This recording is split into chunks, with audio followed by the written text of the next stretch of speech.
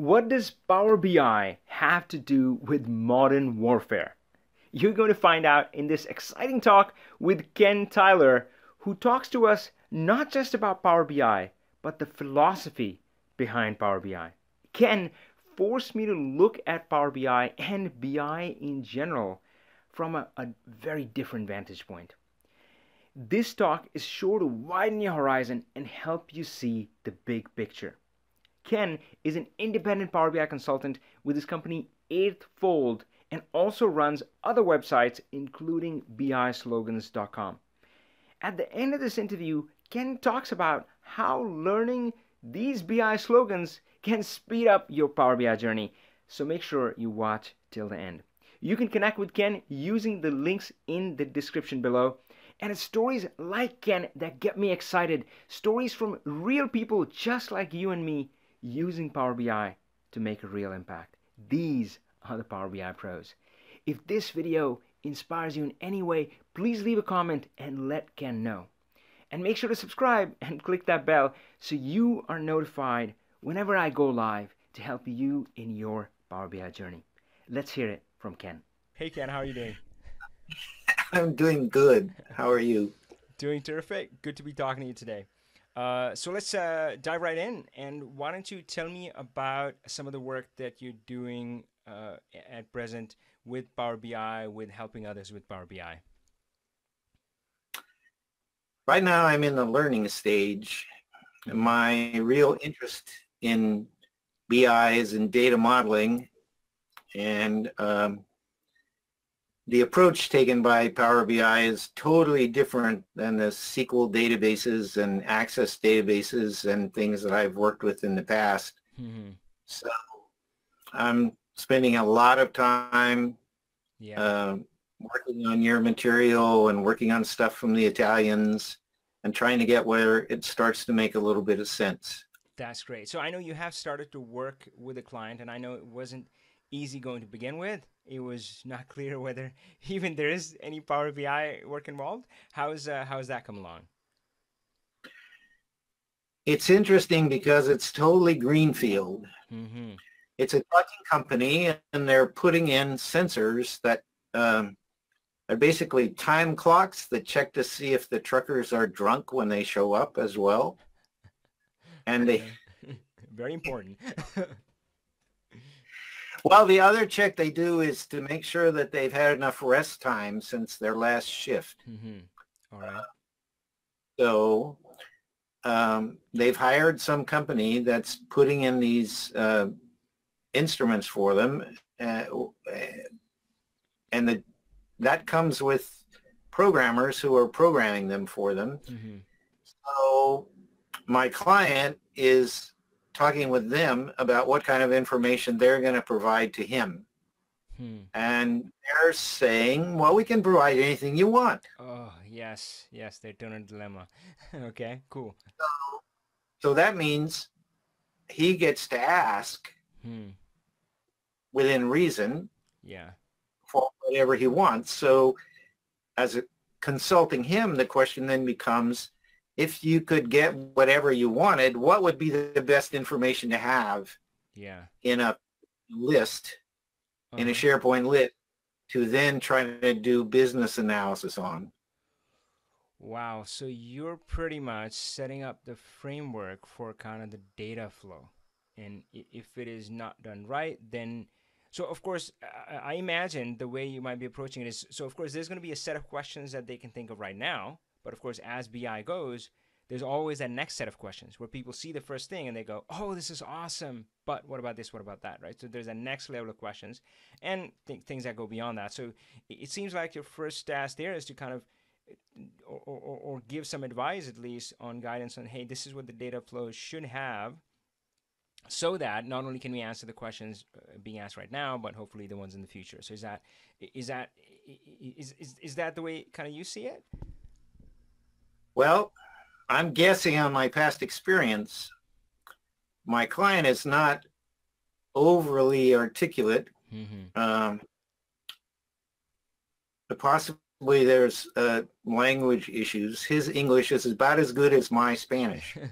Uh, okay. So, so uh, it's actually going to be pretty simple, mm-hmm. but I told him to ask for an identifier machine that's in the scanning, a date time field, all right, a, you know a day, hour, and minute field, yeah, and and there is a kind of a status field because sometimes um, if they get turned away, he wants to record that the guy showed up and hmm. was drunk or okay something like that.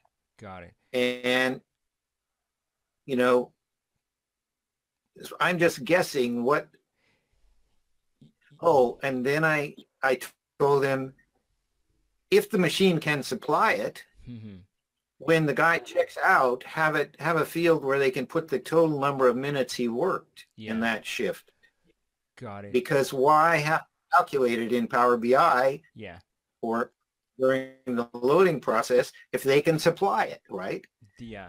All right. So it's just that's pretty good. So, so what I want to ask you is that as you're as you're discussing with this client, and I and I love this process, right? I mean, you've heard me use the phrase of kind of peel the onion, and I kind of enjoy the process, right? So, so that's that's good. You're walking the path, but do you already have at least some vision, some idea of what the initial set of reports would look like that you would create, or or not yet? You're not thinking about that right yet, right now.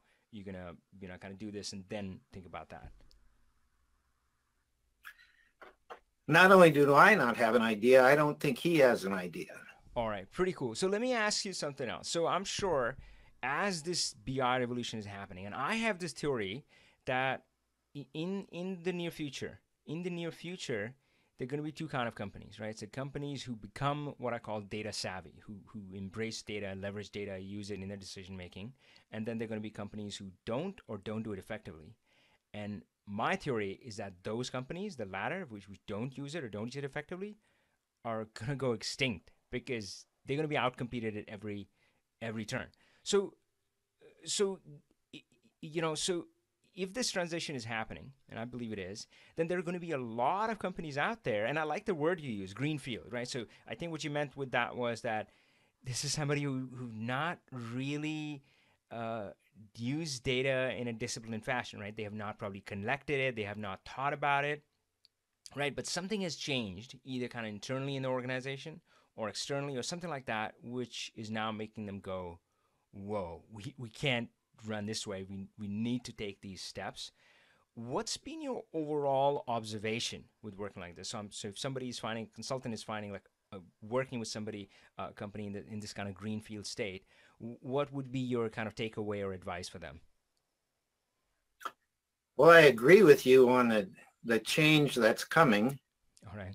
Um, I'm, I'm a student of military history as well, and it reminds me of the German army at the beginning of the Second World War who mastered something called combined arms warfare.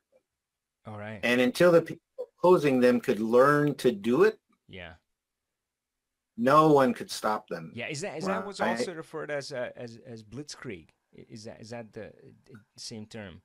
That's a way of thinking about it. Okay. What it what it meant was, and it relates to the computer question, hmm. Is they had a policy of doing heavy training for all levels of command. Okay. And so they expected at every level down people to be smart and hmm. adapt to the moment wow. to the situation, take advantage of it, right? Beautiful. And actually in the German army, you were supposed to disobey orders if the situation called for it. As opposed right? to possibly the classic way where orders were strictly relayed and, and, and, you know, somebody at the bottom was just following instructions, right? So that, was that the classic way and this new way kind of challenge that or change that? Right. And nobody, when they invaded France, the French army came up with a perfect plan, French perfect plan for combating. Um, it's just that it was going to take them 14 days to get ready to execute it. Okay. Yeah. And by that time, they conquer the country. And so there will be lots of companies who just wow. won't be able to do it. Whew. And the biggest reason, yeah, the biggest reason I've seen about why they won't be able to do it doesn't have to do with technology. Mm-hmm. It has to do with power. power. The, the implication of being data driven yeah. is that you make your decisions based on some analysis of data and you judge whether they succeed or not based on some data you record. Okay. Which means decisions no longer just made by the highest paid guy in the room everything I read about data-driven companies means that all the employees have to have access to all the data and ideas about how to use the data and employ the data and extend the data mm-hmm. have to be able to come from everybody. And okay, okay, boy, almost everybody yeah. Worked with, yeah, yeah, so not going. Out. Got it. So I'm I'm trying to absorb it all, man. This is like a, you know, yeah, this is this is pretty cool. So data is just kind of a means to an end. I mean, of course, I often use the word and I say I'm passionate about data and we talk about data-driven organization and all that, but but data is just just kind of a, a, a sign for something else, something bigger. And what you're saying is that data maybe this new age signifies power. So that's what it's about. That's the change that needs to occur. That power in a way needs to be distributed similar to the the, the change in the modern war- warfare that you talked about so that people up and down the chain the hierarchy of the organization are empowered and and make smarter decisions. Is that is that is that am i kind of getting it right? Yes well you can imagine a meeting and um, somebody says we should do X, Y, and Z, mm-hmm. and and the question is, well, there are two questions. What data do you have to support that idea, and how are we going to test what happens? Yeah. So that when we do it, we will know whether it succeeded or not. Yeah. Right. Beautiful. And then if it doesn't succeed, mm-hmm. we will stop doing it and we'll do something else. Yeah. Wow. That that's, you know that's that's really powerful. And it doesn't matter if somebody has those two answers and they're able to experiment, it doesn't really matter where they are in the hierarchy chain, right? I mean, they should be empowered to take that action. I mean, as long as they, yep, here's the data to support it, here's how I'm going to measure if it works or not, and report back to you, then they should be empowered to do it, right? Right. The problem with if all the if all the direction comes from the top, yeah, no no that means there's a really long communication loop yeah. before people find out what's yeah. going on at lower levels. And it also means one of the big things about a data-driven environment is you don't know in advance what kind of insights you might be able to use. Yeah. Right. You, you don't know right. what the questions to ask, right? So that kind of right. So obviously that that makes sense. Um, so that's the reason yeah. why everybody has to have a voice. Yes. Because you can't guarantee, no matter how smart you were, that sitting at the top, you will think of all the things that you need to be looking at. You need to hear from everybody. Wow, that's that's beautiful. So, folks, what you just heard, uh, that's the most beautiful way that I've heard uh, this whole new revolution being described. And, and, and, frankly, I gained a whole new level of understanding. So, of course, I look at it from a very, uh, uh, you know, kind of singular point of view. I do love Power BI, and I often things look at things from that perspective. But this, in a way, Ken is almost looking at it from a higher vantage point. So, Ken, that that was uh, pretty incredible. So let's uh, let's switch gears a bit and let's talk about uh, your own journey. So now uh, you're in a position where where you were you know kind of helping clients with Power BI, and of course you've you've had a history of helping them uh, with technology, different technology tools. Power BI is kind of new on the scene. And of course, I've also seen how active you are within a community, and you're always there to lend a helping hand, uh, help out somebody who's stuck. But uh, if you if you will, uh, you've had you've had a, a, you know like a, a few few different uh, a few different careers. So tell me tell me a bit about that. Well, the joke is, when I got out of college, I went to work for my father, who ran a machine shop and a blacksmithing shop. All right. Which was a great deal.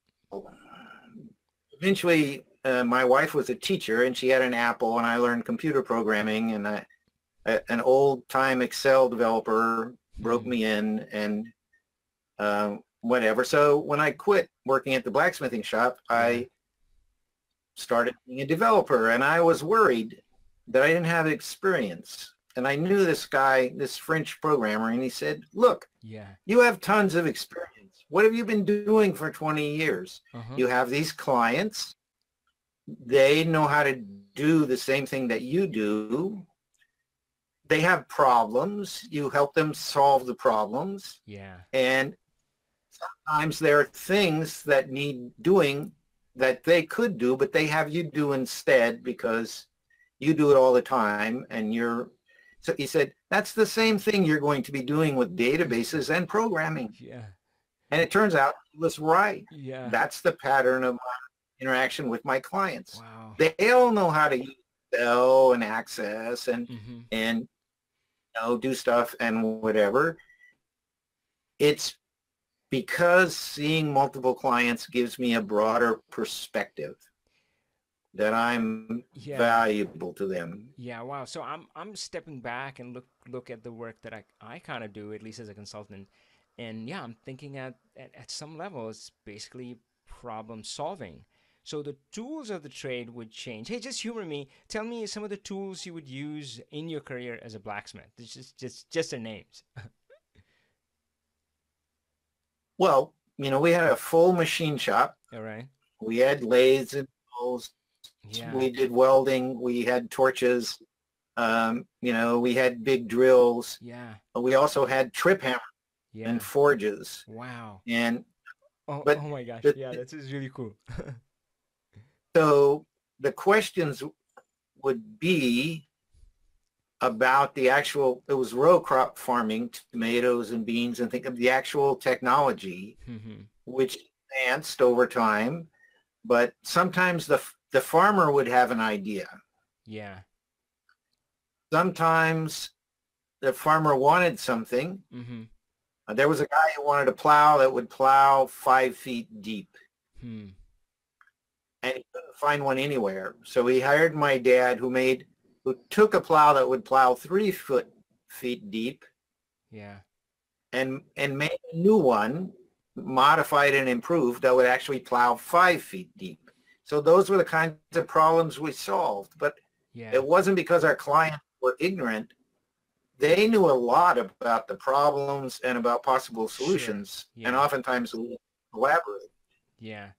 Yeah. That that that's that's really good. And, and and frankly, when you were kind of naming the tools, I was thinking about kind of the Power BI world, and maybe there's some symmetry there because when I think about it, that there are some kind of big, kind of heavy hitting tools which which we have uh, which which work in in most cases. But sometimes you got to bring out kind of that that small I don't know uh, mixing uh, vocations here, but scalpel or something like that. So something something kind of fine tuning work. So of course Power BI in a way your tools change, but you're doing the same thing.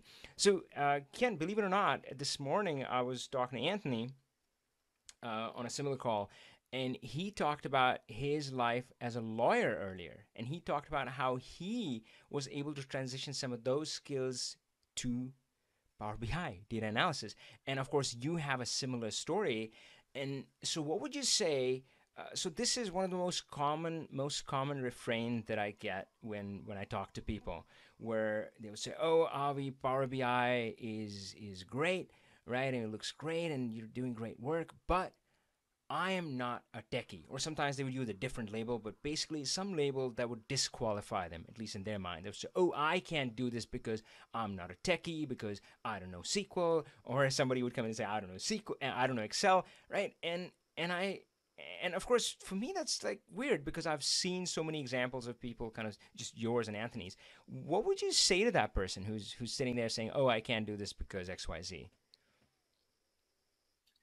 Well, I'm working with a client right now that's trying to make a very difficult transition, mm-hmm. which is they're a a clinic. They have maybe 20 or 30 therapists. Mm-hmm. They're trying to get to where, as a group, they have a vocabulary and a practice of talking about their data resources and being able to plan and change them and adapt them for new contracts and jobs and things. which is a massive change for them. And it, it, it's, they have to call on their employees, on the group members to get invested and involved, even if some of them don't think, you know, don't deal with data very well. Mm-hmm. It's interface between the data and the business takes a lot of energy and attention. All right.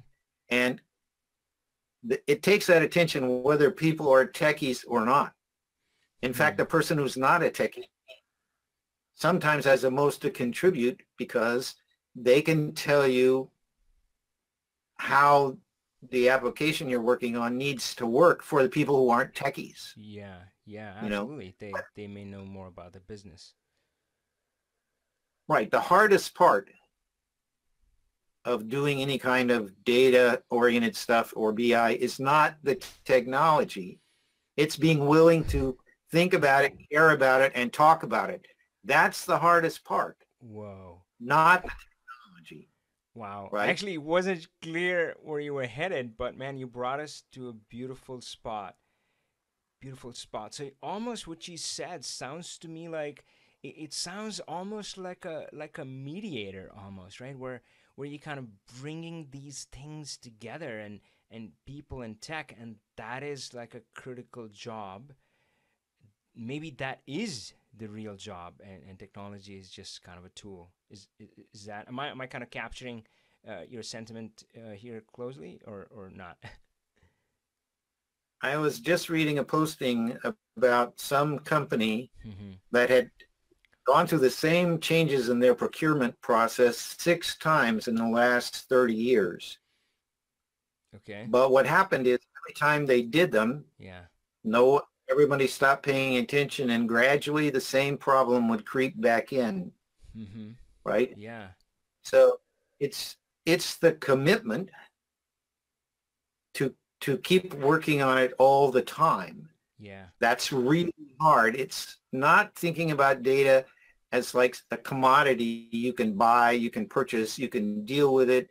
We bought this database and why doesn't it work? Yeah. it's the commitment the ongoing commitment, open-ended commitment. Yeah. That's pure. That that's really beautiful. And and that's an analogy uh, interestingly I use it all the time kind of in, in our business in our team. I always talk about it as a garden.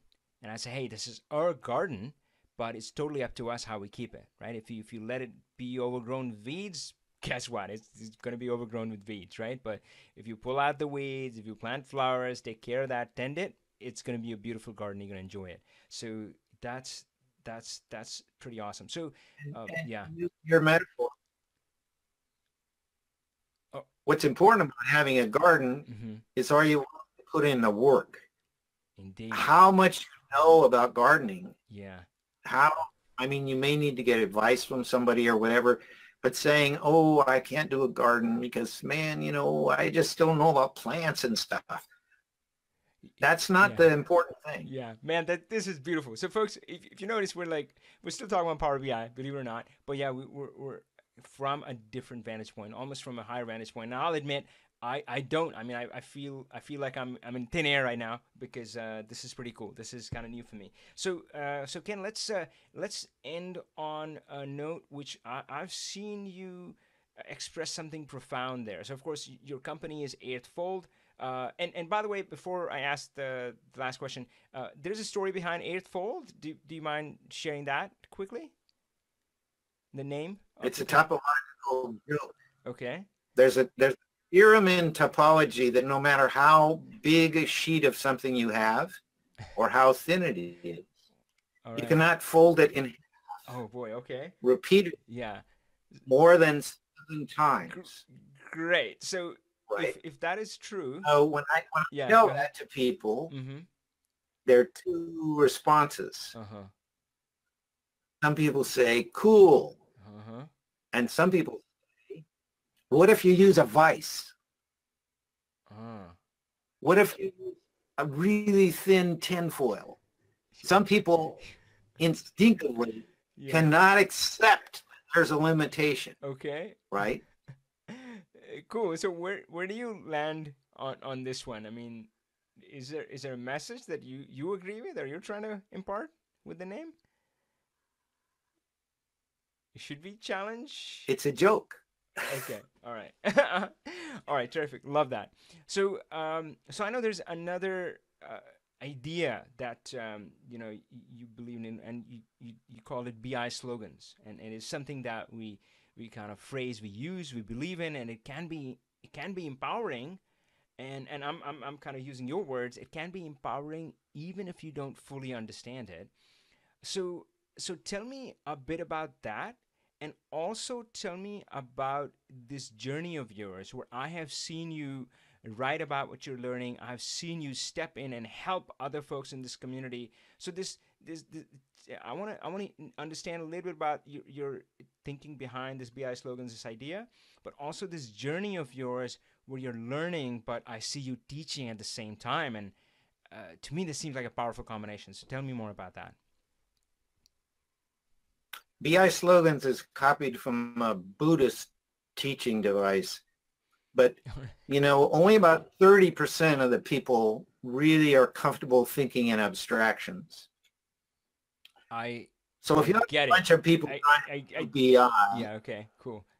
Okay, a lot of them are not going to be able or really be interested in the theoretical underpinnings. I I know, and and right now I'm just thinking about row context, filter context. I mean, it's it's yeah, it's one of those things. So I totally okay. get that.